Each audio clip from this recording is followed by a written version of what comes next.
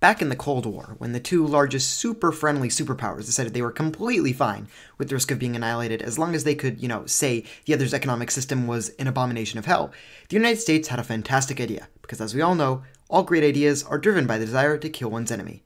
That idea? To constantly station bombers flying around the Soviet Union. That way, if the Soviet Union breathed wrong, or they thought it might be attacking, no downtime at all, we could get right to murdering millions of innocent civilians. And the only problem that the US Air Force saw with this fantastically amazing concept was how to keep the bombers constantly flying.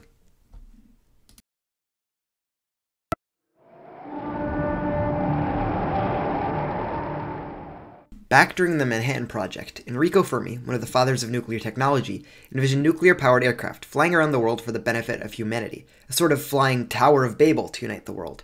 And so, an unnamed head engineer at General Electric had an epiphany, or more likely, drug fueled nightmare, of using nuclear power for bombers.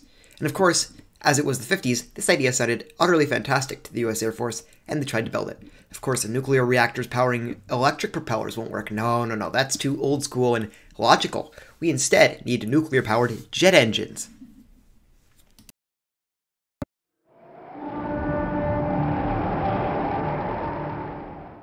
All nuclear powered jets operate on basically one principle. Cold air comes in, gets heated by the incredibly hot radioactive core, and due to the increased heat and therefore lower pressure, is forced out the back. There were two variants of these engines indirect air cycle, in which the air would be heated up by a heat exchanger connected to the nuclear core, so that the air would not be directly contaminated, and that was sponsored by Pratt & Whitney. Slash Convair, direct air cycle, where the air is directly exposed to the nuclear core, was sponsored by General Electric. The US Air Force, of course, favored the direct air cycle, due to it being lighter and more powerful, to the point that engines like this were actually built and flown, such as the General Electric J87. There were two main problems with this. See if you can spot them. Problem A. Because all the air that came in contacted the radioactive core directly, it would become contaminated and therefore spew radiation behind the plane wherever it went. So don't fly it over civilian areas. Problem B. In order to make the crew safe, they needed massive fucking lead shielding. That was half the weight of the entire plane.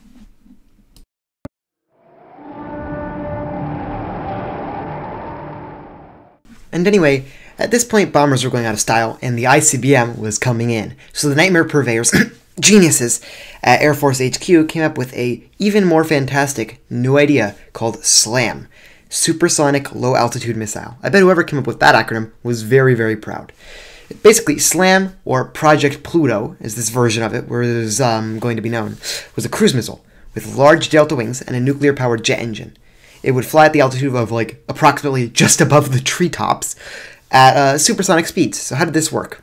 Well, SLAM used nuclear ramjets, meaning it needed to be propelled to a high speed first. Ramjets needed air coming in in order to work. This was done with three solid rocket boosters mounted radially around the missile. After a vertical launch, the missile would pitch down to horizontal and activate its nuclear ramjet. SLAM was designed and intended to be automatically operated with as little human intervention as possible, to further this goal, a height map of the Soviet Union and neighboring areas would have been saved on board on the missile's rudimentary computer, and it would have compared the height map via radar to any given point to find its location. Here was the plan for how it was going to be used.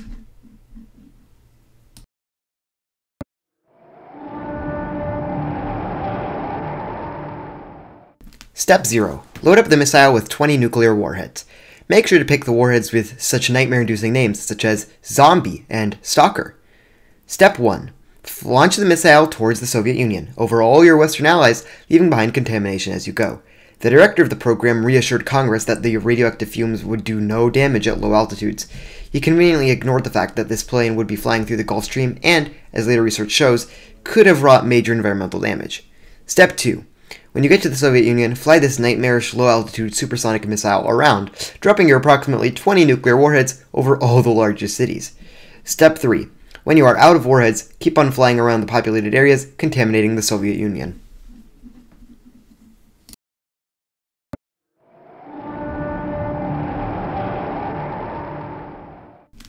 This missile would have been nearly impossible to shoot down due to its supersonic speeds and low altitude. This program was eventually cancelled, not due to it being unfeasible or even moral gripes. Mm, God forbid. That would be too sane. The fear was that on the Soviet Union learning of it, they would launch a nuclear first strike, or develop a similar missile to Project Pluto, which the US would be utterly defenseless against.